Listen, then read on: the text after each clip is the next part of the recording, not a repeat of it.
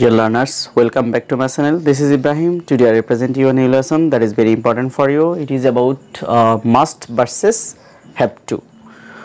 Uh, আমরা জানি দুইটাই modal auxiliary but it has some difference between two আসুন আজকের কন্টেন্টের মাধ্যমে আমরা মাস্ট এবং have to has to have টুর ব্যবহারটা জানব। যারা আমার চ্যানেল নতুন, অবশ্যই চ্যানেলটি সাবস্ক্রাইব করবেন, লাইক করবেন কমেন্টস করবেন, অবশ্যই বন্ধুদের সাথে কন্টেন্টটা শেয়ার করবেন। Okay must versus have to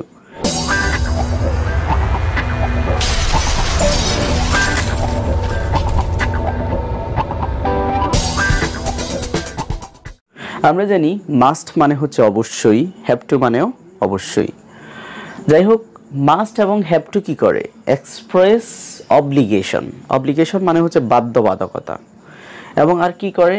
যে রেসপন্সিবিলিটি দায়িত্ব বুঝায় আর পাশাপাশি অর নেসেসিটি তার মানে আমরা বুঝলাম যে ওয়ার্ড দ্বারা অবলিগেশন রেসপন্সিবিলিটি অর নেসেসিটি বুঝায় সেই ওয়ার্ডগুলো হচ্ছে have to has to had to অথবা মাস্ট যাই হোক এরা ফাংশনটা কি? আমরা মাস্ট কীভাবে ব্যবহার করব? হ্যাভ টু কোথায় ব্যবহার করব? মাস্ট কোথায় ব্যবহার করব? আসুন জেনে যা মাস্ট অ্যাকচুয়ালি কিসের জন্য কাজ করে? মা, যেখানে মাস্ট ব্যবহার করবে, সেটা হচ্ছে পার্সোনাল ইন্টেনশন বোঝানোর জন্য আমরা মাস্ট ব্যবহার করি। যেমন I must do it actually এখানে আমার নিজের উপর নির্ভর করে যে আমি কাজটা করব অথবা করব না। আই মাস্ট স্টাডি হার্ড এখানে আমার অবশ্যই আমি কঠিন পরিশ্রম করব এটা up to you it's my choice যে আমি এটা করব অথবা করব না। Then desire personal desire personal intention personal promise এই বিষয়গুলো প্রকাশ করতে আমরা মাস্ট ব্যবহার করে থাকি। দেন অব্লিগেশন কখনো কখনো কোনো কাজ যদি চাপিয়ে দেওয়া হয় যে the teacher said you must do it here you have no choice the teacher gave you homework you must do it here it expresses the obligations যদিও দুইটা হ্যাভ টু এবং মাস্টের অর্থ বাধ্যবাধকতা এবং দুইটাই অব্লিগেশনের কাজ করে থাকে, কিন্তু এর মাধ্যমে স্লাইটলি ডিফারেন্ট রয়েছে।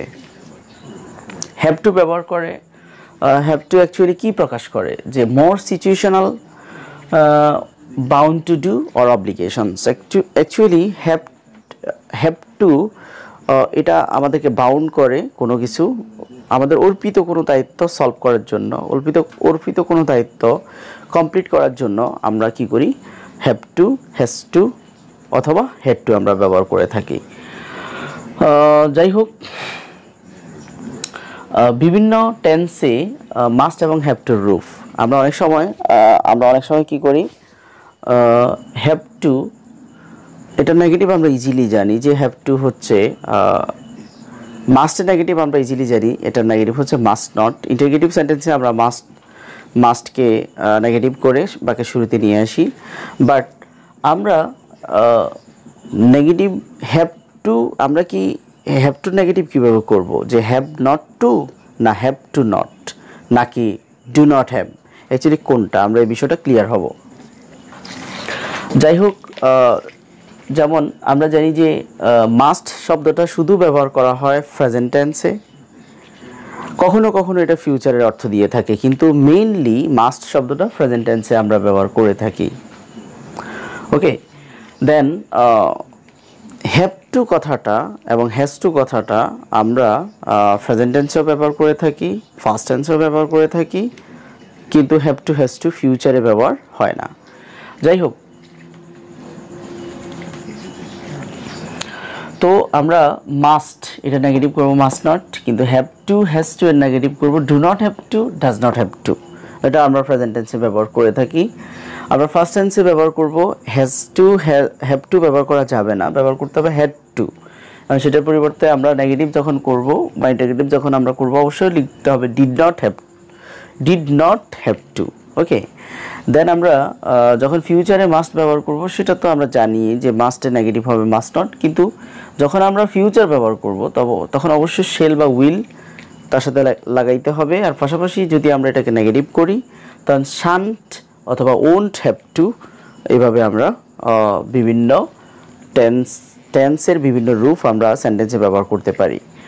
যাই হোক এক্সাম্পলের মাধ্যমে আমরা বিষয়টি আরও ক্লিয়ার হব যে অ্যাকচুয়ালি মাস্ট এবং হ্যাপটুর মধ্যে কী পার্থক্য রয়েছে। আই মাস্ট ফে হিম ব্যাক অ্যাকচুয়ালি আমি তাকে ফিডব্যাক দিব অথবা আমি তাকে শুনব। এটা অ্যাকচুয়ালি ব্যক্তিগত বিষয় more personal issues so here must uses as personal desire then second sentence they must talk to her before she leaves সে ত্যাগ করার আগে তার সাথে কথা বলবে it expresses more personal issues actually here must is not obligations it has your choice যে either you talk with the girl or not I have to then যেটা আছে I have to do this tomorrow it's also more personal যে আমি কাজটা tomorrow করব। এটা নিজের চয়েসের উপর নির্ভর করে। সো মাস্ট এবং হ্যাভ টু দিয়ে কখনো কখনো আমরা নিজের পার্সোনাল ইস্যু নিজের ডিজায়ারগুলা এক্সপ্রেস করার জন্য আমরা ব্যবহার করে থাকি। Finally I have to look after my parents actually it's express is the more situational sentence situation create করেছে যে আমরা অবশ্যই পিতামাতার কি করব? সেবা করব। এটা it has no choice you have no choice either you look after them or not look after অবশ্যই করতে হবে as a son or daughter okay then যেটা রয়েছে the doctor have doctors have to treat the patient automatic doctor has the responsibility doctors have the responsibility to treat the patient so it is not personal issues not personal desire it is a obligations it is a obligations must to do the look after the patient so it is more situational it has no choice you have no choice here so আমরা একটা বিষয়ে পার্থক্য খুঁজে পাই যে must এবং হ্যাপটুর মাঝে যে must কখনো কখনো নিজের পার্সোনাল ইস্যুজ সম্পর্কে কথা বলে পার্সোনাল ইস্যু নিয়ে পার্সোনাল ডিজায়ার নিয়ে পার্সোনাল এক্সপেকটেশন নিয়ে প্রকাশ করে থাকে but have to have no choice more situational topics বা ইস্যুস নিয়ে কথা বলে থাকে। যাই হোক, আজকে কন্টেন্টের মাধ্যমে আশা করি মাস্ট এবং হ্যাপটুর ব্যাপারে কিছুটাও ক্লিয়ার হওয়া হওয়া গিয়েছে। পরবর্তী কন্টেন্ট দেখার আমন্ত্রণ জানিয়ে আজকের মতো এখানে শেষ করছি। Thank you very much for for watching my channel